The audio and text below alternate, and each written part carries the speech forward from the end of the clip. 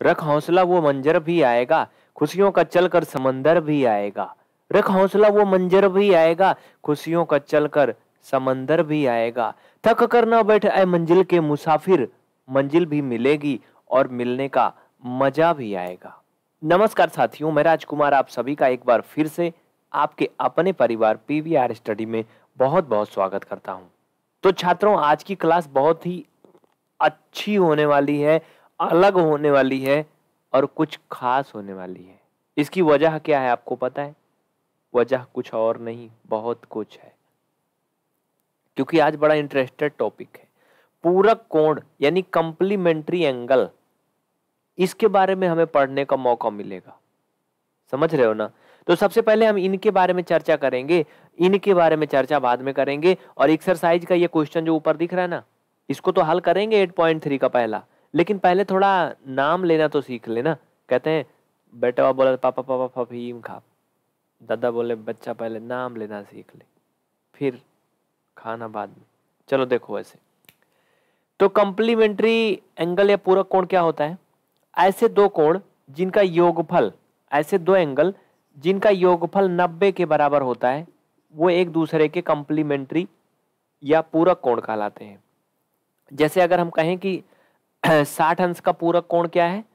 तो साठ अंश में हम कितना जोड़ दें? साठ में कि नब्बे हो जाए? तो साठ में तीस जोड़ेंगे तो नब्बे हो जाएगा। यानी जो साठ का पूरक कोण होगा, वो तीस होगा, ठीक है? तीस का पूरक कितना होगा? साठ होगा, ठीक है? इसी तरह से एक और देखिए। जैसे कहें कि पचास डिग्री, इसका पूरक कोण क्या है भैया? बताओ। पचास का पूरक कोण क्या है? तो पचास का पूरक कोण वो होगा जितना जोड़ने पर नब्बे आ जाए। तो ये छोटा सा है, आपको पता है कि चालीस जोड़ने पे आएगा। तो यानी पचास का पूरा कोण चालीस है। सभी समझ रहे हो ना? इसी तरह से एक और बताओ मुझे। पैतालीस फोर्टी फाइव इसका पूरा कोण कितना होगा? फोर्टी फाइव का कंप्लीमेंट्री एंगल क्या होगा? सभी समझ गए ना? बहुत आसान है सिंपल सा है भाई।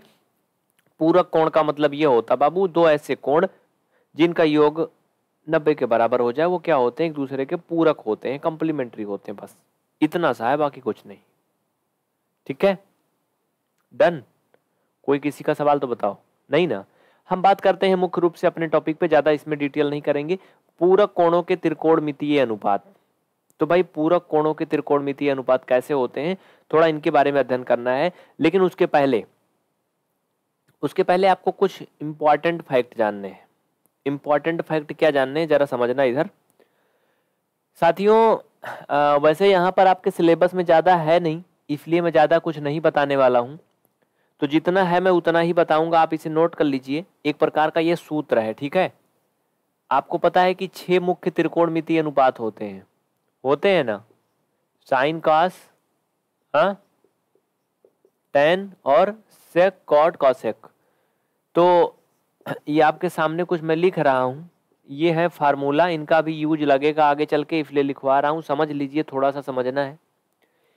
देखिए, प्रिय साथियों इसमें आप समझ लीजिए जो मैं बता रहा हूँ। साइन का उल्टा कौशक होता है, आप हरदम सीखते आए हो। यही बताया हूँ शुरू से। टेन का उल्टा कॉट होता है, सेक का उल्टा कौशक होता है। लेकिन ये कौशक बड़ा बेवफा होता है। ये बहुत ही बेवफा होता है, एकदम निकम्मा टाइप का होता है। पता है काय होता है? कौन? कॉस। सॉरी, मैंने कहा से को शायद इतना कुछ बुरा भरा बोला, लेकिन कॉस होता है। ऐसा मैंने क्यों कहा? ऐसा इसलिए कहा कि ये सब तो अपने अपने अपोजिट में बदल जाते हैं। ठीक है, इनमें कोई दिक्कत नहीं है, लेकिन कॉस के साथ प्रॉब्लम है। कॉस के साथ प्रॉब्लम है, किसके साथ है भाई? हम्म कॉस के साथ ही प्रॉब्लम है। देखो, समझना। साइन किसमें बदल जाता है, आपको पता है? हम्म? थोड़ा मुझे लगता है लिखना पड़ेगा, नहीं आप कंफ्यूज हो जाओगे। तो मैं लिख देता हूँ साइड में रुको। देखिए, मैंने लिख दिया है, मैं यही बताना चाहता था। ध्यान से देखिए। साथियों, मुख्य त्रिकोणमितीय अनुपात तीन होते हैं, जिनके नाम है साइन कॉस और टेन। इनके जो अपोजिट होते हैं, यानी विपरीत, ठीक है?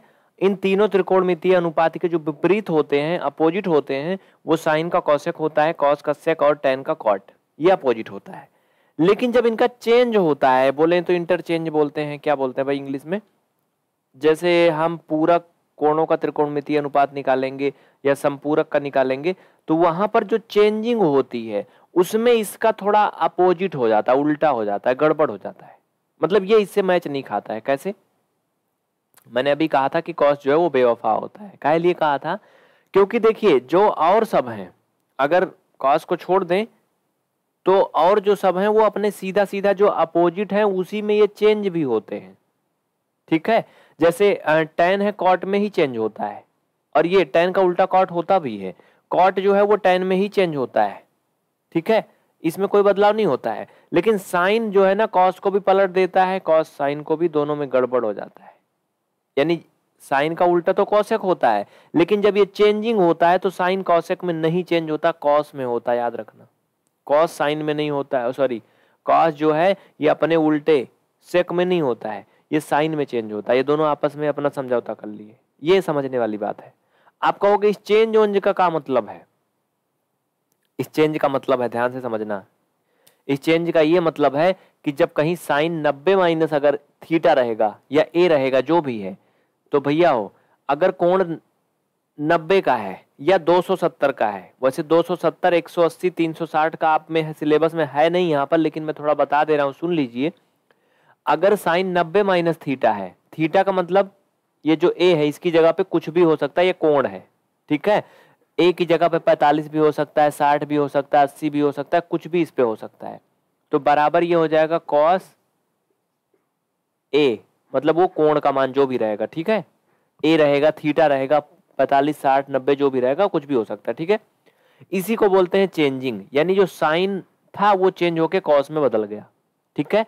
यहाँ पे क्या होगा, जो कॉस नब्बे माइनस ये है, ये चेंज होके साइन ए हो जाएगा। इसी को मैं बोल रहा था कि चेंज होता है, ठीक है? कॉस किसमें चेंज हो गया? साइन में। अभी आगे जब ये क्वेश्चन करोगे ना, जो ऊपर लिखा है तो अभी सब क्लियर हो जाएगा, ये चेंज ओंज का क्या मतलब है? इसे पहले इसलिए लिख लो बस। तो टेन वाला क्या हो जाएगा बाबू? ये कॉट हो जाएगा ए यानी टेन नब्बे माइनस ए जो है, वो कॉट में बदल जाएगा। इसी तरह से ये आपस में अपना अदली बदली कर लेते हैं। किसमें कौन बदलता है, ये मैंने लिख दिया, यहाँ देख लो। ये जो मैंने बदला ना, साइन कॉस में गया, कॉस साइन में गया टेन कॉट में गया, ये कौन किसमें बदलेगा, ये मैंने लिख दिया है। ठीक है, ये एक प्रकार से आपका क्या है? इंट्रोडक्शन था। अब हम क्वेश्चन पे चलेंगे बिना रुके फटाफट। ठीक है? डन चलो। अब क्वेश्चन पे चलें। इतना हो गया। तो साथी मेरे, ध्यान देना यहाँ पर। आप लोग बहुत ही गौर से देख रहे हो ना? अगर कुछ भी डाउट है तो बता देना। और एक काम और वीडियो को आप थोड़ा सा बैक करके ना, अगर नहीं लिख पाए हैं तो इन बातों को लिख भी सकते हो, कोई दिक्कत नहीं है। टेंशन वाली तो कोई बात ही नहीं है। ठीक है? हल्का सा वीडियो को बैक करिए और लिख लीजिए। चलिए, अब क्वेश्चन पे आते हैं। देखिए साथियों क्वेश्चन जो इस तरह का होता है बहुत आसान होता है। सिर्फ़ आपको समझना है बस। ये अपोजिट वाले पर ही सब आधारित है। जैसे देखिए पहला प्रश्न है साइन एटीन डिग्री और नीचे दिया है, कॉस सेवेंटी टू डिग्री। याद रहे, ये हमेशा जो कोण होंगे आपस में जिनका एक दूसरे में बदलाव होता है, वही रहते हैं। ऐसा नहीं कि साइन के नीचे टेन दे दिया जाएगा, नहीं। अगर इस तरह के क्वेश्चन में साइन के नीचे टेन दे दिया जाएगा या कॉस के ऊपर, कॉसेक दे दिया जाएगा तो गड़बड़ाया जाएगा। देखो कैसे समझते हैं। साथियों, इसमें हम एक चीज़ ये समझेंगे, ये अठारह और बहत्तर है ना, अगर नब्बे में से अठारह घटाओगे ना बाबू तो ये बहत्तर आएगा। बोलो, है ना सही? और अगर हम नब्बे में से बहत्तर घटाएँगे तो अठारह आएगा। इसमें कोई दिक्कत नहीं। तो यहाँ पर दो ऑप्शन है, इसको हल करने का दो तरीका है। मैं बता रहा हूँ, ध्यान से सुनना। पहला तरीका, ठीक है, पहला तरीका, हम साइन जो अठारह है ना इस अठारह की जगह पे, भाई अठारह की जगह पे बाबू नब्बे माइनस बहत्तर लिख सकते हैं कि नहीं? नब्बे माइनस बहत्तर लिख सकता हूँ ना अठारह की जगह पे, ये होता है ना? तो हम क्या करेंगे? इस पे नब्बे माइनस अठारह कर देंगे। आप कहोगे, काहे कर रहे हो? बता रहा हूँ। नीचे कॉस सेवेंटी टू ऐसे लिख देंगे, इसमें कोई बदलाव नहीं होगा। समझना? अभी अभी आपने पढ़ा अभी अभी कि साइन नब्बे माइनस ए ए की जगह पे मैंने बताया कुछ भी हो सकता है। यहाँ पर ए की जगह पे अठारह है। है ना? अभी आपने देखा था तो साइन नब्बे माइनस ए क्या हो गया था भाई? बोलो। क्या हो गया था चचा? बताओ ना। प्रीति कुमारी, पंकज, अभिनव, प्रांजल मिश्रा, राघवेंद्र, स्नेहा तिवारी, मानवेंद्र। ठीक है वेरी गुड देखो, समझो, बताता हूँ। समझो। अब क्या होगा? ये बदल के कॉस में चला जाएगा। तो ये कॉस ए ए की जगह पर अठारह। गड़बड़ होगा ना? गड़बड़ हो गया मुझे लग रहा है। क्यों गड़बड़ क्या हो गया? समझना एक मिनट के लिए। एक मिनट के लिए समझना, बता रहा हूँ। समझना? साथियों, यहाँ पर हम लोगों ने थोड़ा सा मिस्टेक किया है। बताएँ कौन सा मिस्टेक है? थोड़ा देखना, बता रहा हूँ। अभी मैंने आपको क्या बताया कि अठारह की जगह पे हम इसको लिख सकते हैं ना? अभी अभी बताया ना? तो हमने लेकिन इसको लिखा कहाँ? हमने तो इसमें थोड़ा मिस्टेक कर दिया ना? ये यहाँ पर अठारह नहीं बल्कि बहत्तर रहेगा। अब यही तो बताया ना भाई, अब इसको थोड़ी लिख सकते हैं, ये तो बहत्तर की जगह पे लिख सकते हैं ना। तो ये हो जाएगा तो बाबू यहाँ पर वन एट एट्टी नहीं, यहाँ पर सेवेंटी टू आएगा। क्या आएगा? सेवेंटी टू ठीक है? और नीचे कॉस सेवेंटी टू था, ये वैसे का वैसे रहेगा। अब दोनों एकदम समान, बराबर है, बराबर वन अपान वन फाइनल में वन आ जाएगा। ये हो गया आंसर समझ में आया? एक ही लाइन का था ना। क्यों? कैसे हुआ ऐसा? आप नीचे ब्रेकट में लिख सकते हो ऐसे भी, चाहे चूँकि साइन नब्बे minus theta equal cos theta ये सूत्र होता है। मैंने बताया कि थीटा लिखो, चाहे ए लिखो, कुछ भी लिख सकते हो। ठीक है? लिख लीजिए, नहीं समझ में आया तो बताइए। ये आपका पहला तरीका था। देखिए क्लास को पूरा एंड तक देखना है। ऐसा नहीं कि बीच में छोटा मोटा देख के भाग जाओ तो ऐसे मज़ा नहीं आएगी। फिर तो कहोगे कि गलत हो रहा है, सब गड़बड़ हो रहा है। हाँ यही कहोगे फिर। है ना? लेकिन जब पूरा क्लास देखोगे, तब पता चलेगा कि हाँ अच्छा हो रहा है। आगे चले, इसका दूसरा तरीका थोड़ा सा देख लीजिए। कोई ज़्यादा अंतर नहीं है, कोई भी कर सकता है। आसान है, बहुत ही ईजी है। देखो भाई, दूसरा तरीका क्या है बाबू, यहाँ से समझो। दूसरा वाला सेकंड वाला क्वेश्चन में हटाई देता हूँ। देखो, हम इसमें कुछ नहीं करेंगे, जैसे है ये साइन वन एट एटीन ऐसे रहने देंगे। और ये कॉस सेवेंटी टू ना, भाई सेवेंटी टू की जगह पे हम लिख सकते हैं नब्बे माइनस अठारह। लिख सकते हैं ना? तो हम इसकी जगह पे कर देंगे कॉस ये नब्बे माइनस अठारह। समझते चलना एकदम प्यार से, ठीक है? अब क्या करेंगे? ये साइन वन एट एटीन ऐसे उतर जाएगा और कॉस नब्बे माइनस ए मैंने बताया कि कॉस नब्बे माइनस थीटा बराबर साइन थीटा होता है तो ये हो जाएगा साइन वन एट एटीन अब ये दोनों बराबर है, कट जाएगा वन आएगा। भाई, चाहे ये तरीका लगाओ, चाहे ये दोनों का एक ही मतलब है। समझ में आया ना? यहाँ पर नीचे चाहे तो लिख लेना सूत्र हाँ? सूत्र चाहे तो लिख देना, चूँकि ये कॉस नब्बे minus theta equal sine theta ठीक है? लिख लीजिए, कोई भी डाउट है तो बताइए। ये आपका फ़र्स्ट क्वेश्चन हो गया। इसमें किसी को कोई परेशानी? नहीं ना? आगे बढ़ा जाए फिर। चलिए सेकंड पार्ट देखिए। सेकंड में कह रहा बाबू, ध्यान से देखो स्क्रीन पे आ चुका है।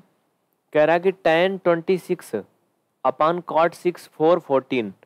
बहुत आसान है ये भी। इसमें क्या करेंगे? पहले मुझे ये बताओ। किसमें तोड़ेंगे? आप लोग मुझे बस सिर्फ़ इतना बता दो, बाकी कुछ मत बताओ। हाँ? भाई देखो, क्वेश्चन बहुत आसान है। टेन ट्वेंटी सिक्स है ना? और कॉट सिक्सटी फोर है। इसमें एक समानता ये होगी कि आप चाहे तो नब्बे में से छब्बीस घटा दो तो चौंसठ आ जाएगा। या फिर नब्बे में से चौसठ घटा दोगे तो छब्बीस आ जाएगा। ये ऐसा होता है क्योंकि बहुत आसान होता है ये। ठीक है? तो क्वेश्चन है टेन, ट्वेंटी सिक्स और ये कॉट सिक्सटी फोर। ठीक है, डन? यही है। तो बाबू देखो, समझो यहाँ पर, हम इसे लिख सकता हूँ टेन नब्बे माइनस सिक्सटी फोर। और नीचे लिख सकता हूँ इसे कॉट सिक्सटी फोर। टेन नब्बे माइनस थीटा बराबर होता है कॉट थीटा थीटा की जगह पर सिक्सटी फोर है और नीचे का सिक्सटी फोर ऐसे रहेगा। ये कट पिट जाएगा एक एक फाइनल में वन आएगा। हाँ वन अपान वन लास्ट में वन ही आएगा। समझ में आया? ये आपका दूसरा पार्ट हो गया। तीसरा पार्ट देखिए स्क्रीन पर आ चुका है। थर्ड पार्ट इसको भी आप लोग कर लोगे। मुझे उम्मीद है कि सभी बच्चे कर लेंगे। इसमें किसी को कोई डाउट नहीं होना चाहिए। देखो, अगर आपने इंट्रोडक्शन पार्ट ध्यान से देखा है, बिल्कुल दिल लगा के देखा, बाबू तो कर लोगे। अगर इंट्रोडक्शन तुम नहीं समझ पाए कि साइन का केह में बदलेगा, कौन केह में बदलेगा, इनकी क्या कहानी है, तब ये बहुत मुश्किल होगा। समझिए। ये क्वेश्चन में क्या कह रहा है? कॉस फोर्टी एट माइनस ये थोड़ा अलग है ना? साइन फोर्टी टू इसमें भी कोई दिक्कत नहीं है, थोड़ा अलग है तब भी। देखो बाबू, यहाँ से समझो, ये क्वेश्चन नंबर तीसरा है। यहाँ पे हम हल लिखते हैं। हम कॉस फोर्टी एट को लिख सकता हूँ, नब्बे माइनस फोर्टी इसमें किसी को कोई दिक्कत? नहीं ना? और माइनस का साइन फोर्टी टू भाई कॉस नब्बे माइनस थीटा इक्वल होता है साइन थीटा ठीक है? कॉस नब्बे माइनस थीटा बराबर साइन थीटा होता है। और ये साइन थीटा या जो भी था, इसको ऐसे लिख लिया, दोनों समान है, घट गया, ज़ीरो आ गया। बताओ, कितना आसान है ना? इससे आसान भी प्रश्न बनता है का? नहीं बनता ना? चलिए, इसका चौथा पार्ट देखिए। 8.3 में फ़र्स्ट क्वेश्चन में चार ही पार्ट थे बाबू। ठीक है, फोर ही पार्ट था। चौथा पार्ट क्या कहता है? जरा ध्यान दीजिए। समझिए और समझने की कोशिश करिए। ये भी बिल्कुल इजी है, बहुत ही इजी है, एकदम सिंपल सा है। इसमें भी कोई बहुत बड़ी बात नहीं है। दिख रहा है ना? कौशक थर्टी वन है और सेक फिफ्टी नाइन है। इनमें एक समानता होगी, मैंने बताया, पूरक कोण है। हमेशा अगर क्वेश्चन में देखो, नब्बे में से थर्टी वन घटाओगे तो फिफ्टी नाइन आ जाएगा, जो कि सेक के साथ में है। अगर नब्बे में से फिफ्टी नाइन घटाओगे तो थर्टी वन आ जाएगा, जो कि कौशक के साथ में है। ठीक है? तो समझो भैया, समझो। क्या लिखा है? Cosec thirty one degree minus sec fifty nine degree. ठीक है? तो हम क्या करेंगे बाबू? हम इनको लिखेंगे कौशक नब्बे minus fifty nine minus sec fifty nine. इसमें किसी को कोई तकलीफ़ नहीं ना? और कौशक बदल जाता है सेक में। तो कौशक नब्बे माइनस थीटा बराबर सेक थीटा होता है। तो बाबू थीटा की जगह पे फिफ्टी नाइन है और माइनस का सेक फिफ्टी नाइन फाइनल में ज़ीरो आएगा।